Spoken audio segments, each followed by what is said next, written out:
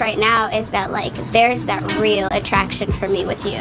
Like it's it's there heavy and I have to start going after what I want and you're definitely that in here. I'm just like I'm like finding the boldness in me to like kind of start doing that in here, you know what I mean? And yeah. I feel like you, you low-key brought that out in me. Can understand it. This takes time. It does take time. And it's, it's really challenging for people like some people can say yeah, I don't care, you know what I'm saying? Go talk to whoever. Yeah. Like, but now I do feel like I'm, I'm kind of at a place where like I've narrowed down my options. Yeah. You know, and I, am really like, you're one of the people I really need to get myself a chance with. Yeah. And I guess I'm putting that out there right now. The lady I would like to ask to marry me has really been the highlight of my stay here in the villa. Oh. Ah, Caleb was so sweet with his proposal. Maybe he does like me. Fill the room with the juice. That's a lot of loot. Uh, that bit fire. Uh, yeah, she kinda cute to the channel. So I wasn't even going to do any videos on Love Island, but I just feel compelled to talk about this situation.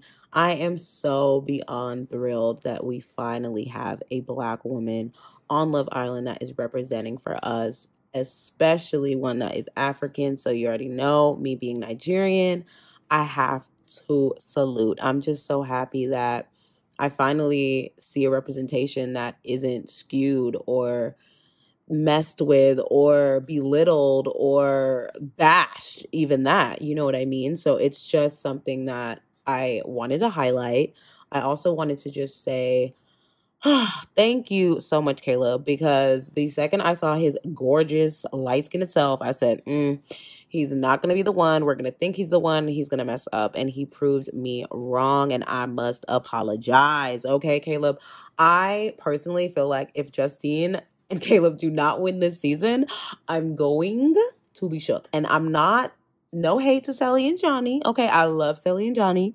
And honestly, I'm sure they may win. And that's just me being real. But I don't, I just feel Justine really deserves it. When you just think of her story, where she's been, what she's done, she is the epitome of what we need to see. And we need to see her succeed to the fullest. Okay, period. So, with that being said, let's get into my reaction of her meeting Caleb's parents and Caleb meeting her parents, when I tell you, I almost started to cry. I was almost crying.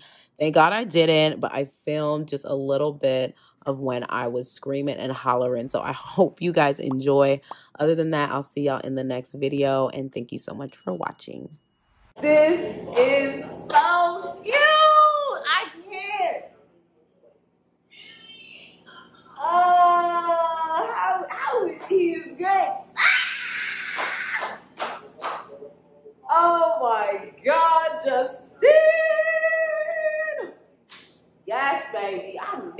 Representation. I needed this representation. Okay. Hmm. Her sister looks like me, oh. Her sister looks like me, oh. Ha! Bye, mommy. Ah!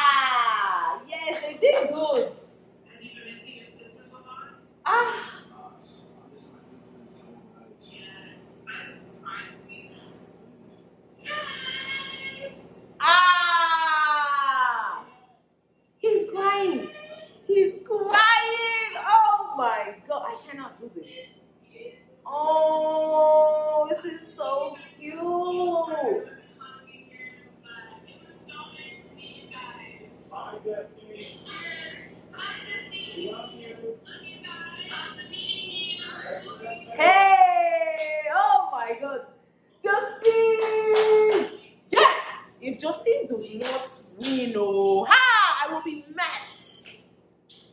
Hey! Let's go. 100k. 100k, we are running. We are. Why are you running? Why are you running? Why are you running? We are running. Hey! What?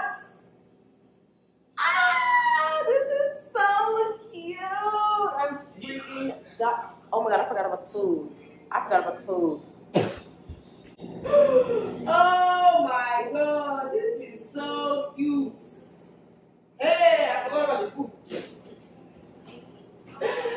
I am going to burn my house down. Jesus. Oh, that was so cute. Oh, I want to see Salem's family now.